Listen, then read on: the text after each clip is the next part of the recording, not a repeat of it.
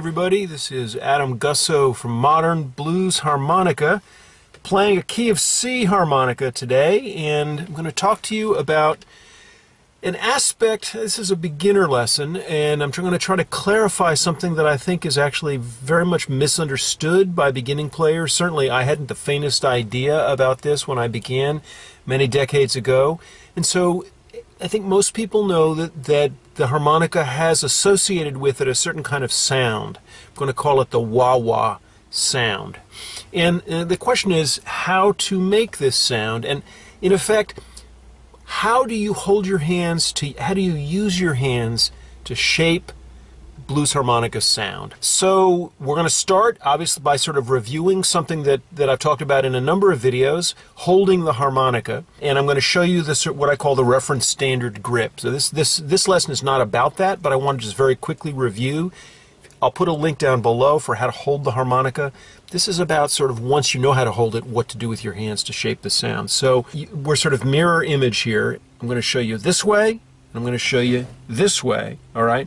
The key thing, obviously holding the harmonica, to, again, to review, we're moving really quickly, would be that you want your fingers equidistant uh, on the upper, this is your index finger, and your thumb equidistant on the upper and lower uh, cover plates respectively. It's very important. Not like this, to review, but like this. So if you have a little harmonica book and it shows you this, wrong.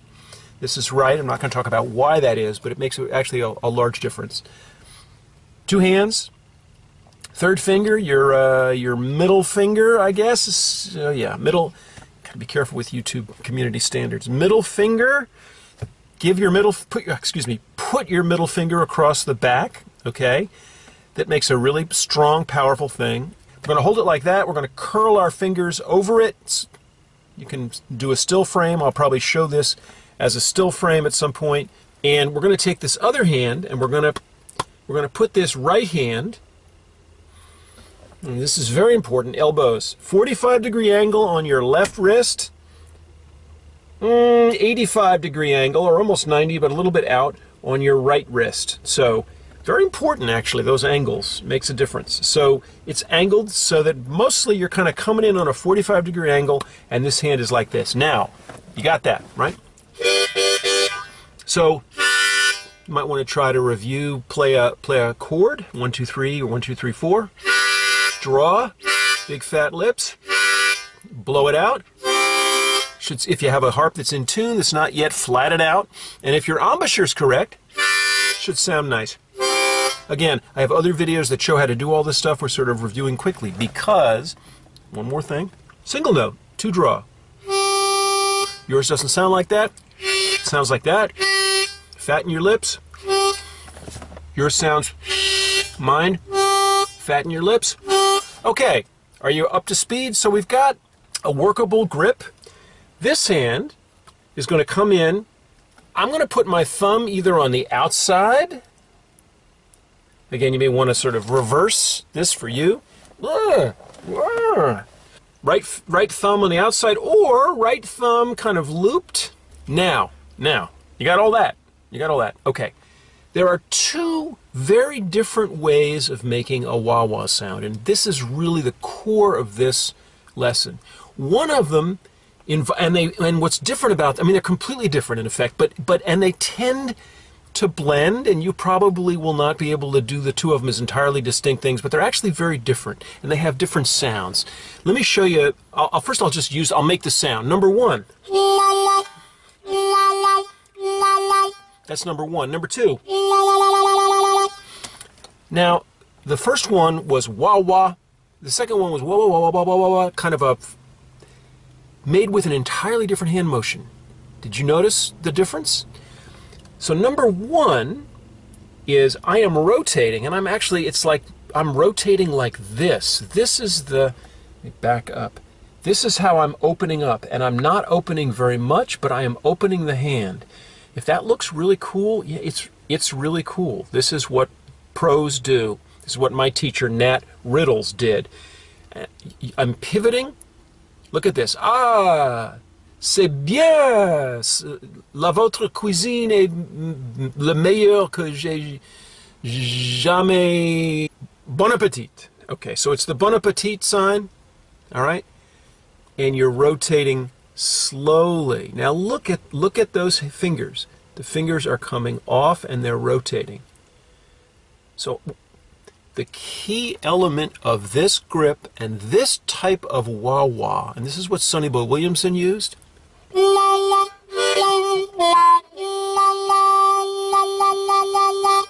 The key thing is you have to begin with it completely sealed on the bottom. Look at that, sealed. If yours is like this, well, you can't make the sound. It starts sealed, and if you start really sealed, you don't have to open it very much to make a really cool sound. So, you're starting with it sealed, which what it does is basically, it's like a mini loudspeaker in reverse. You're holding all of the highs, all of the high frequency, all of frequencies that are a part of every harmonica note. That high edge, if I want to accentuate, by the way, Sonny Terry. You hear that? That's me doing something with my mouth to accentuate the highs. Well, we're doing the reverse. Oh, so we're sort of containing the highs, the high frequencies, the high frequency resonances, the upper harmonics of the, the particular note we're playing. And then we're opening. And when we open, we don't have to open much. When we do it, those high frequencies come out. And that's the wah. It's almost the ooh, the, the ah of wah is just normal frequencies. The woo is like what happens when you're keeping a scream inside. Ooh, somebody's trying to, you know, ad- abduct you. Ooh, ooh, ooh, wah, right? So that wah, that's what we're doing. We're letting the highs out. We're letting the highs resume their normal place in the harmonics. So that's the normal sound. Does that make sense? Hopefully, it makes sense. Anyway, I'm a I went off to college. I wanted to be an audio engineer. This stuff's fascinating, different frequency curves and stuff. And if you're going to record your own music, you need to understand this stuff because if you want the harp to pop without being sharp, you got to know how to raise and lower certain frequencies to make that happen. So, what am I doing? I am rotating. If I put the harp down, well, it doesn't work if I put the harp down. I'm rotating and I'm just opening a little. And I'm, if you look from the top, this is the top view, I'm just rotating the fingers, not much. And I'm using the those fingers there as a kind of pivot. So this is the way the pros do it. The alternative would be to have your thumb on the outside. That works too. Without, you know, as you're not looping it, but you have the thumb on the outside of the harp, the right side of the harp. Perfectly good. Why is that not quite as good? Well, it's really complicated, but if I want to get a super wah, I want to actually block the upper notes. That lets less air come out of the harm by way of the harmonica on the upper notes. So actually, if I if I seal it way down and just have that section, those one, two, three, four, five holes covered with my chin, I'm really sealing it then. Now, how do you make wah? Well, you make the wah by opening more from a completely sealed position. So the more you can distinguish really sealed from really open, and the more quickly you can do it, the more you get a powerful wah sound. Now that's sound number one, which is the this motion. Now we're going to move on to sound number two, which I think of as the campfire sound.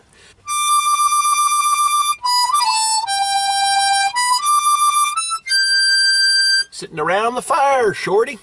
Love them braised ribs you got there in the tomato sauce.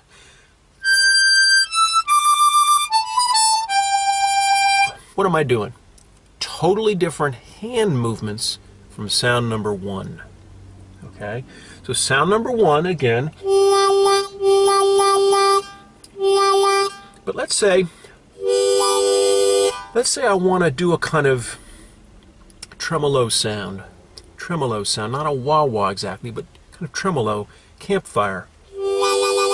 So what I'm going to do is I'm going to open the fingers up. I'm opening those fingers up. So instead of holding them and, and, and, and just going like that, I'm going to go back as though I were look in, moving in the direction of a guy who is going to take a, a like a waiter is going to take a tray with some plates on it but i'm only 45 degrees so that's the way to think about it open up the hand Notice this cup here, right? I've got these fingers flat against my hand and there's no nothing escaping. So that's really important. You have to play around with this. Um, I need to pay my art director a little bit more for a little bit better photography. Art director is really... So, I'm going to open it. And then, instead of the loop thing, instead of this motion, I'm going to... I'm moving basically my wrists. I'm moving off my wrists. I'm using this hand, and I'm flapping the hand with big, oh, wide open fingers. Totally different sound.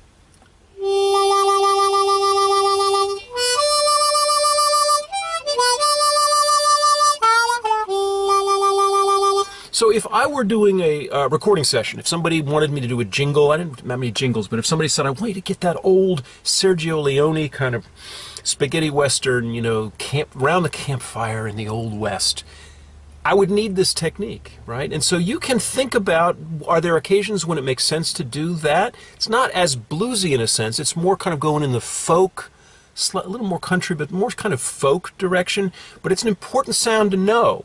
And it's really important because you got to know, you can't confuse the two. So, if this is, so this is not the way to get the Sonny Boy Williamson. You have to curl those fingers. And remember, Sonny Boy Williamson, heavy blues, rotate the wrist.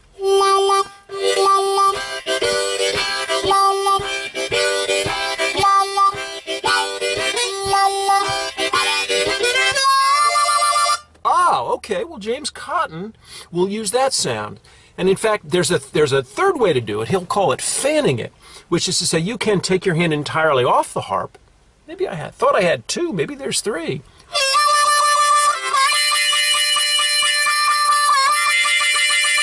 Wow, that's the one, right? That's the one you wanted all the time. We got to it. Fanning the harp.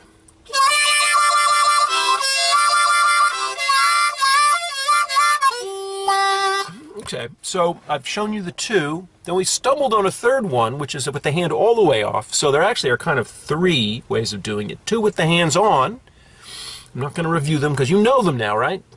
Rotate the wrist, then flap it open.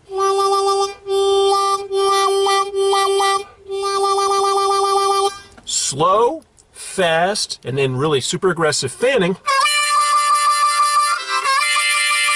And of course, what I'm doing there, so that you're not confused, is I'm actually also sharpening the sound of that four draw. I'm using a little bit of a bend, and I'm putting my tongue forward. That tends to highlight the high frequency resonances of the notes.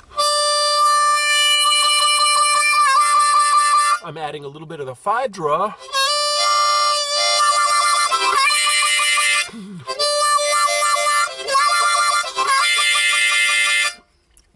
I think we're done. I think I've shown you the three things. If I go any further, you're going to get confused.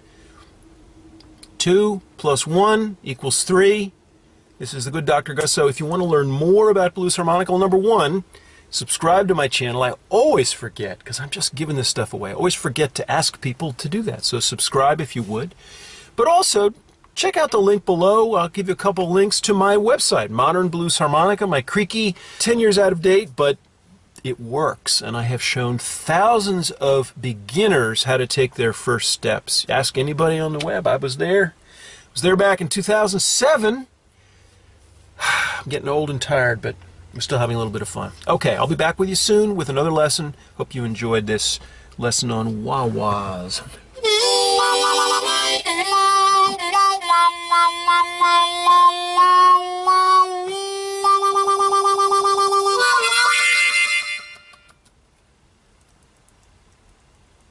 Down the road. Bye bye.